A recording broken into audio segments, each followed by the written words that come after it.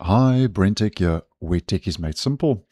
So, AR4789, who is a concept creator, has shown us what a possible future version of Windows could be in a new video. And this time he has titled it Windows 26. So basically, is this what Windows could look like next year in 2026, be it Windows 11 or be it Windows 12?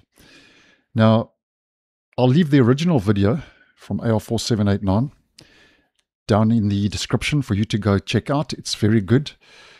Go show his channel support. Go check the video out. And I've just once again taken a couple of screen grabs just as a quick overview for the purpose of this video. And just remember that this is not a real OS. You cannot download it. It's a concept that was created called Windows 26. Now, I must be honest, out of a lot of the concepts that have been pushed out of late, I found this one to be a lot more realistic because I think it's only jumping one year ahead. And a lot of the design features are taken from what's already available in Windows 11.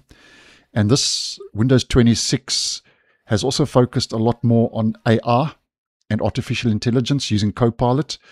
And I think that's where Microsoft's focus is heading into next year and beyond using a lot more AI in the operating system. And Microsoft has even said that a future Windows could be an agentic Windows, where in some circumstances the OS could even think for itself, which can be scary, depending on which side of the fence you sit with that. Now, this is now what we're looking at here is the login screen, the lock screen. And here's the desktop. And just one or two things I want to show at the start We've got this dock here at the bottom where the start menu is, but the so-called taskbar has been moved to the top, which is a highly requested feature that Microsoft introduces into Windows 11, where you can move the taskbar from the bottom to the top, left, right, and so on.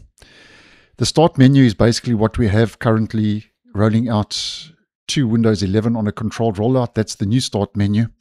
So as mentioned, a lot of the aspects currently in Windows are found in Windows 26, this new concept. And I think that's what I like about this because it's a little bit more realistic. Heading to the next, this is the search. Here we have File Explorer Home. There's our settings about page, very similar to what we get currently in Windows 11 as mentioned, personalization. And there's a big focus on personalizing the OS using AR and automation in this concept.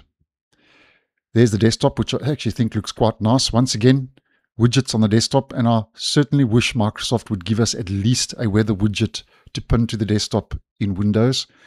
And all of these concepts basically feature a widget or even more for the desktop, which I think is a nice move.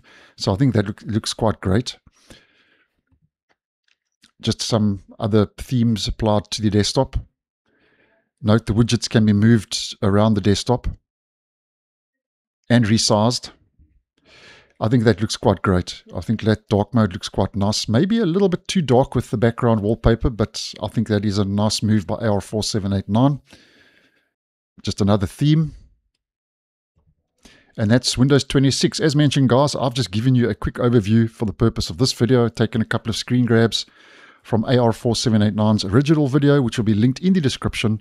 As mentioned, go show his channel some support and check the video out in full over on his channel. But nonetheless, guys, as mentioned, this is a concept. And the reason I do these videos is just to take the blinkers off when it comes to what people out there are actually wanting the OS to look like and not just from Microsoft's point of view.